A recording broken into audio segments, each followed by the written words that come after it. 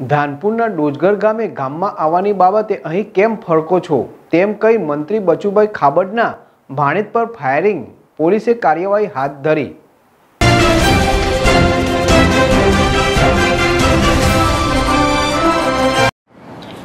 ધાનપુર તાલુકાના દુધામલી ગામના આપસિંગભાઈ પટેલ તેમજ સજોઈ ગામે રહેતો તેમનો મિત્ર દિનેશભાઈ મથુરભાઈ મેડા સાંજના સાત વાગ્યાના અરસામાં તેમના ખેતર તરફ જઈ રહ્યા હતા.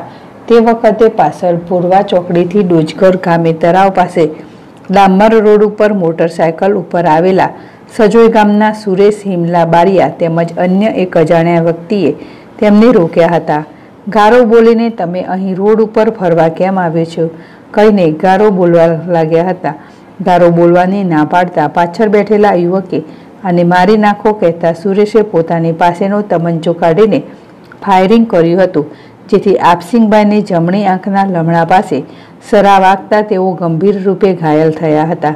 આ વખતે દિનેશભાઈ તેને પકડવા જતા તેમની ઉપર તમંચો તાકીને, તારે ગામમાં રહેવું છે કે નહીં? કહીને ધમકી આપી બંને નાસી છૂટ્યા હતા. બનાવની જાણ થતાં દોડી આવેલા પરિવારના લોકોએ આપસિંગભાઈને ધાનપુરના સરકારી દવાખાને ખસેડ્યા હતા. ત્યાંથી વધુ સારવાર માટે તેમને વડોદરા લઈ જવામાં આવ્યા. હોવાનું જાણવા મળ્યું છે. ઘાયલ થનાર આપસિંગભાઈ મંત્રી બચુભાઈ ખાબડના ભાણેજ થતા હોવાથી પોલીસ વિભાગમાં દોડધામ મચી ગઈ હતી.